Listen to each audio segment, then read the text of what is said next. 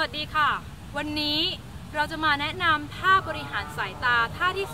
2 หลังจากที่เราได้ทำท่าแรกไปแล้ว เรารู้สึกยังไงกันบ้างคะสำหรับท่าง่ายๆอีกท่าหนึ่งที่เราทำได้ คือการที่เราใช้วิวรอบกายของเรา แล้วก็ใช้สายตาของเราแค่นั้นเองค่ะ หลักการคือให้เราโฟกัสไปให้ไกลที่สุด แล้วเรามองหาจุดที่เราสามารถมองชัดได้ไกลที่สุด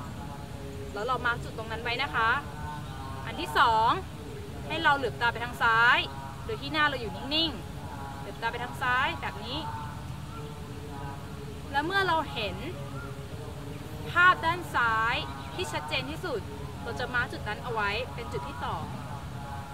หลังจากนั้นเช่นเดียวกันค่ะ ทางด้านขวา เราจะเหลือบตามองไปทางขวาแบบนี้นะคะ เมื่อเราเห็นแล้วว่าฝั่งนี้คือภาพที่ชัดที่สุดในด้านที่สอง นี่จะเป็นจุดที่ 3 ที่เรามาร์กเอาไว้ หลังจากที่เราได้จุดที่ไกลที่สุด ซ้ายที่ไกลที่สุด ขวาที่ไกลที่สุด เราจะจุดมาร์กจุดที่ใกล้ที่สุดทั้งหน้า ทางซ้ายและทางขวา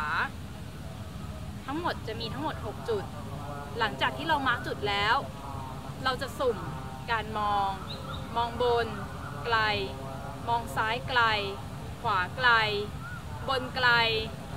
ล่างใกล้ ซ้ายใกล้ ขวาใกล้ แบบนี้นะคะ และทุกคนก็ได้เรียนรู้วิธีการบริหารสายตาแบบง่าย ๆ ไปแล้วนะคะ ขอให้ทุกคนสนุกกับการบริหารสายตา และขอให้ทุกคนมีความสุขกับการมีสายตาที่มีสุขภาพดี แล้วพบกันใหม่คราวหน้าค่ะ